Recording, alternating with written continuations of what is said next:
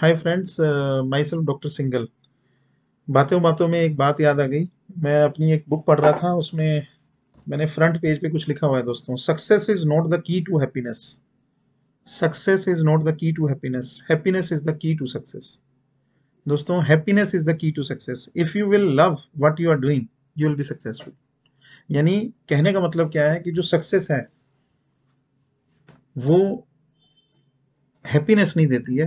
Happiness जो है, उससे सक्सेस आती है। सुनने में बड़ी अजीब सी बात है दोस्तों, लेकिन समझने वाले लोगों को बड़ी जल्दी समझ में आएगी।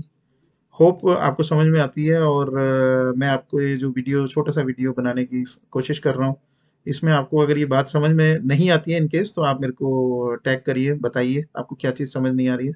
नेक्स्ट टाइम आपको फिर से समझाएँगे, फिर से बताएँगे। Thank you.